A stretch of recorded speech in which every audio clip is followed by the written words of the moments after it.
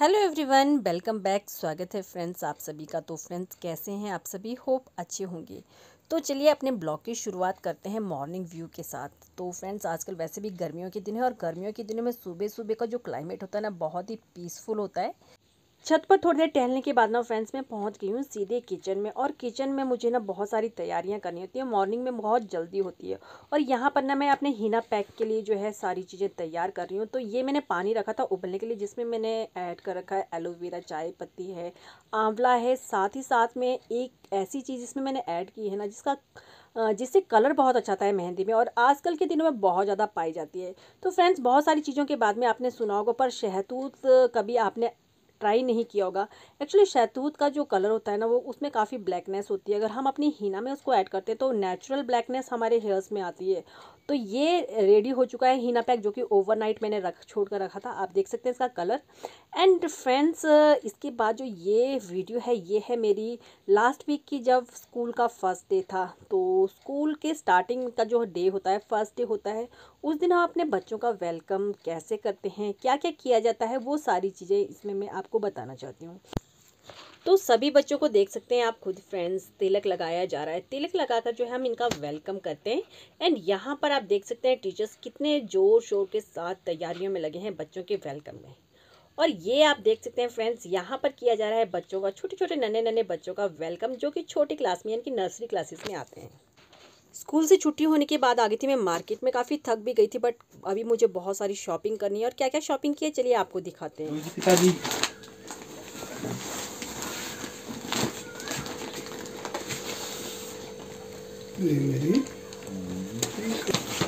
बेड़ा हाँ कर लेंगे ये खुली भी खुली।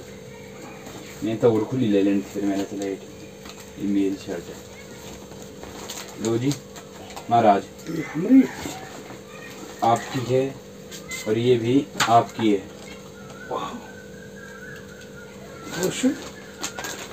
बोश नहीं। ये माता जी का ये हमरा और ये आपका। गिफ्ट धन्यवाद जी।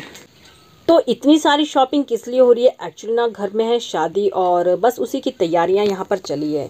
ये देखिए ट्राई हो गई श्रीमान जी की एंड ऋषि की कमर में कुछ दर्द जैसी हो रही थी। तो श्रीमान जी देखिए, जो घरेलू उपाय है ना, कुछ दर्द को दूर करने के वही उसी से इसकी दर्द को ठीक कर रहे हैं। तो फ्रेंड्स आपको मेरा ब्लॉग कैसा लगा? कमेंट में ज़रूर बताइएगा। और यदि आप मेरे चैनल पर फ़र्स्ट टाइम विज़िट कर रहे हैं और चैनल को अभी तक सब्सक्राइब नहीं किया है तो प्लीज़ चैनल को सब्सक्राइब कर लीजिएगा। साथ ही साथ में ना बेल आइकन को भी प्रेस कर लीजिएगा ताकि मेरी नई वीडियो की नोटिफिकेशन आपको एकदम से मिल जाए और आप मेरी नई वीडियो है देख लें। यहाँ पे फ्रेंड्स चला हुआ है हमारे घर का काम तो पिलर्स डाल गए हैं ना एंड ये जो फर्मे है ना, आज इनको खोलने का काम यहाँ पर चला है। तो ये भी ना, हम अपने आप ही कर रहे हैं एंड सारे फर्मे उठाकर फिर हमने यहाँ पर रख दिए। और अभी इनमें जो एक्स्ट्रा सीमेंट लगा होता है ना फ्रेंड्स वो निकाला जा रहा है। तो आप देख सकते हैं, अंधेरा हो चुका है। रात के आठ बज चुके हैं और हम लोग यहाँ पर काम पर जुटे हैं, क्योंकि मॉर्निंग में हमें ये ना फर्मे देने हैं वापस तो ये सारा काम निपटाते निपटाते ना साढ़े आठ ही यहाँ पर हो गए हैं। बस अब हम लोग चल पड़े हैं अंदर। एंड ये नेक्स्ट डे की वीडियो है फ्रेंड्स तो एक्चुअली ना हमारा कुछ प्लानिंग चेंज हो गई थी और जिसके चलते हमें डेढ़ दो फुट के करीब करीब मिट्टी अपने प्लॉट से निकालनी थी तो उसके लिए हम लोगों ने यहाँ पर मंगाई है ये जेसीपी तो जेसीपी से हम ना इसको निकालने वाले हैं। एक्चुअली है वैसे हमने लेबर वालों से बात कर रखी थी पर उन्होंने बहुत ज़्यादा पैसे मांगे। तो हमने सोचा क्यों ना फिर जो है मशीन से ही सारी मिट्टी उठाई जाए। वैसे पिलर्स के बीच से काफ़ी मुश्किल है मशीन से निकालना, बट फिर भी ना चलिए देखते हैं क्या क्या होता है। और ये देखिए मेरा गुलाब का पौधा, इसमें बहुत सारे फूल लगे थे, इसको भी ना निकालना पड़ा वहाँ से, पर मैंने जड़ के साथ निकाला है तो कहीं और मैं इसको प्लांटेड कर दूँगी। तो मैंने सोचा इसके जो फूल है ना, वो वेस्ट हो जाएँगे तो मैं इनको निकाल के रखूँ। तो ये बहुत सारे काम ये मेरे आने वाले हैं, चाहे फेस पैक बनाऊँ इनका या फिर सुखा के रख लेती हूँ, किसी ना किसी चीज़ में ये काम आ ही जाते हैं। तो सारी काम ना हमारे होते होते रात ही हो जाती थी फ्रेंड्स तो आज भी जेसीपी भी देखिए कितनी रात हो गई यहाँ पे काम पे लगे लगे एंड रात को ही हमें घर आना पड़ा।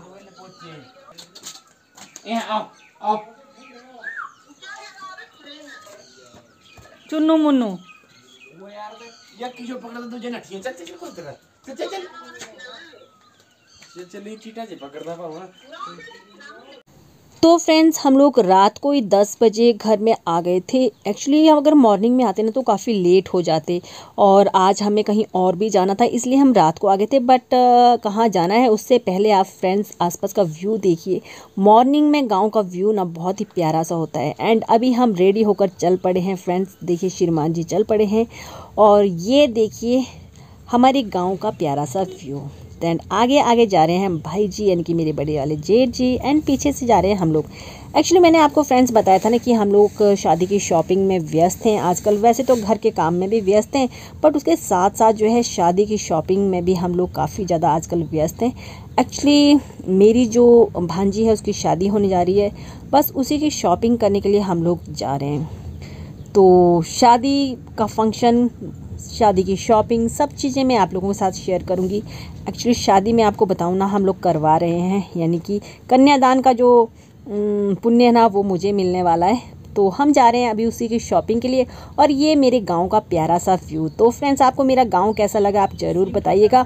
और क्या क्या शॉपिंग की, कहाँ की, वो सारी चीज़ें मैं आपको नेक्स्ट वीडियो में बताऊँगी। तो चलिए फ्रेंड्स फिर मिलते हैं एक नए वीडियो के साथ। तब तक अपना ख्याल रखिएगा। बाबा एंड टेक केयर